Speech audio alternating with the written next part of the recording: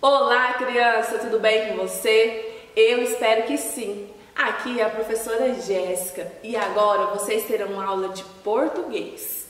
Nessa aula de hoje nós vamos trabalhar vogal mais M. Vamos lá? Eu vim hoje de bruxa porque é de dentro do meu barril mágico que eu vou tirar esse novo som para vocês. Olha só, juntando de dentro do nosso barril a vogal A mais a consoante M, nós temos o som do AN. Juntando a vogal E mais a consoante M, nós temos o som do EN. Juntando a vogal I mais a consoante M, nós temos o som do IN. Juntando a vogal O mais a consoante M, nós temos o som do.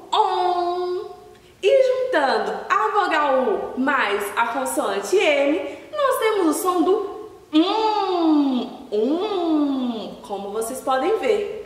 Agora que a gente já aprendeu esse novo som, eu quero dizer algo para vocês. Geralmente, quando a vogal A, O, U, E, I está acompanhada da consoante M, ela possui um valor sonoro nasal. Isso quer dizer que é necessário o nariz para reproduzir esse som. Lá na frente do seu espelho, eu quero que você faça um teste para mim. Você vai olhar para o espelho e vai reproduzir esse som, ó. An, em, e eu quero que vocês percebam o movimento do nariz de vocês. In, on e um. Vocês perceberão que todos farão movimento no seu nariz, porque será necessário a respiração para reproduzir esse som. Será ali bem interessante vocês observarem. Lógico que o nariz da tia Jéssica é um pouco grande, então é fácil perceber. Mas eu sei que no seu narizinho aí vocês vão conseguir fazer isso também. Agora que eu já apresentei esse novo som para vocês, Vamos olhar esse novo som em algumas palavras? Primeira palavra que eu trouxe é ambulância. A ambulância ela é usada para quê? Para socorrer pessoas ali que estejam passando mal ou que precisem de ajuda médica. Então nós chamamos a ambulância. E o que nós vemos aí nessa palavra é que logo no início nós temos aí o som do am, que é o A juntamente com o M.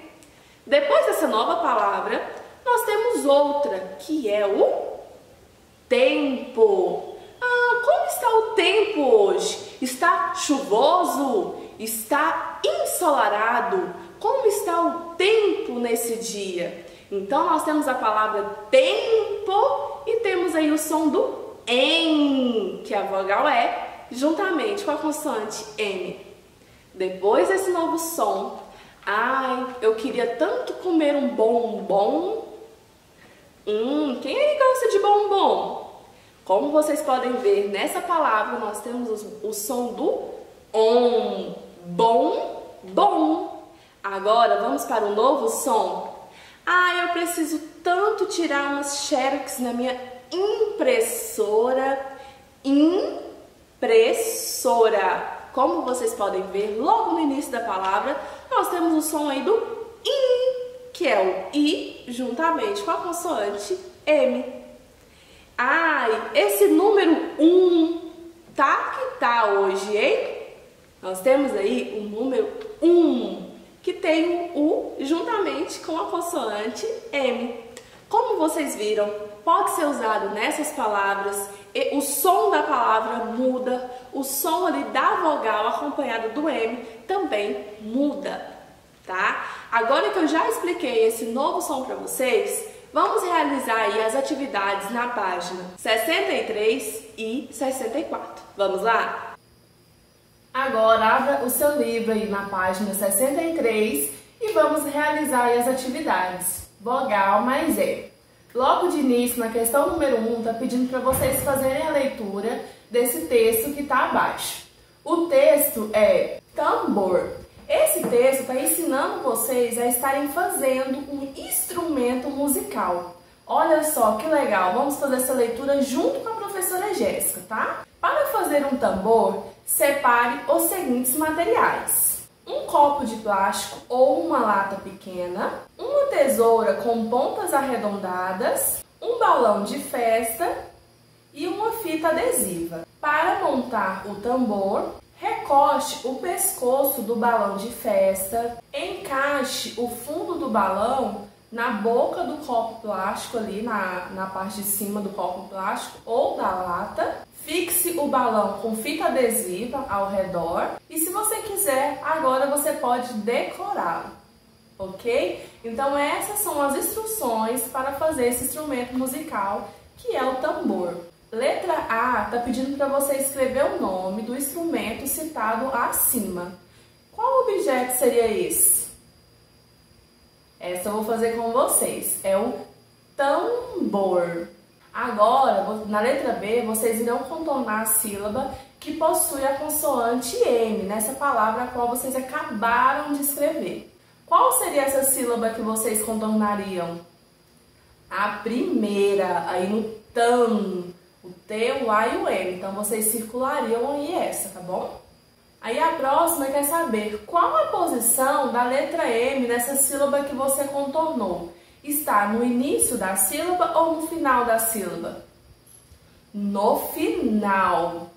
Como vocês podem ver, a palavra tambor tem um novo som que a gente acabou de aprender, que é o som do AN. Questão número 2. Para descobrir novas palavras, vocês terão que acrescentar a letra M no final aí de todas as primeiras sílabas dessas palavras.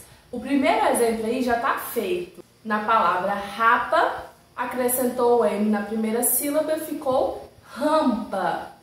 E assim vocês farão com a palavra lobo, sobra e tapa. Aí a próxima questão está pedindo para vocês lerem aí todas essas palavras que vocês acabaram de escrever em voz alta e depois assinalar com X a resposta que representa a correta, ok?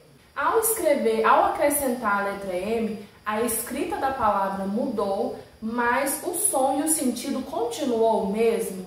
Logo abaixo tem, ao acrescentar a letra M, mudou o som, a escrita e o sentido da palavra? Qual desses dois estariam corretos?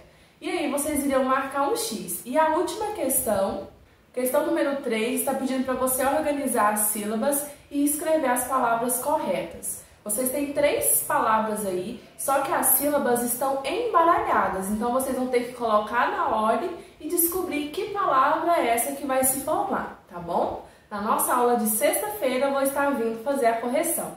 Essa foi a nossa aula de hoje. Ó, um beijo. Eu espero que vocês tenham gostado e até a próxima aula. Tchau!